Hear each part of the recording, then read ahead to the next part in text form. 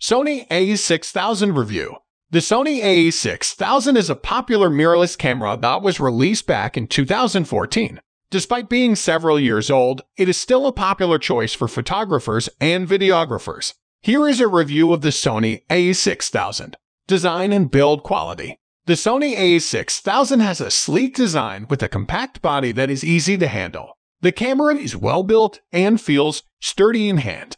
It has a magnesium alloy body that is dust and moisture resistant. The camera has a comfortable grip and the buds are well placed for easy access. Image quality the Sony a6000 features a 24.3 megapixel APS-C CMOS sensor that delivers excellent image quality.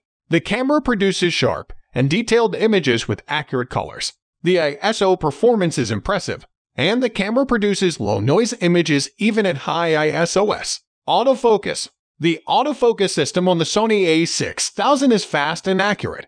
It has 179 phase detection AF points and 25 contrast detection AF points. The camera can focus quickly and accurately in most lighting conditions. The autofocus tracking is also impressive, making it a great choice for capturing fast-moving subjects. Video The Sony a6000 can record full HD 1080 video at 6 diffs.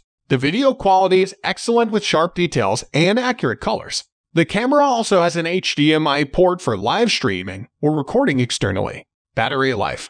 The battery life on the Sony a6000 is decent, with the ability to capture around 360 shots per charge. However, it is recommended to carry an extra battery while on a shoot to ensure uninterrupted shooting. Conclusion The Sony a6000 is an excellent mirrorless camera that offers impressive image quality, fast autofocus, and good video capabilities. Despite being an older model, it still holds up well against newer cameras in its class. It is a great choice for anyone looking for a reliable and capable camera at an affordable price.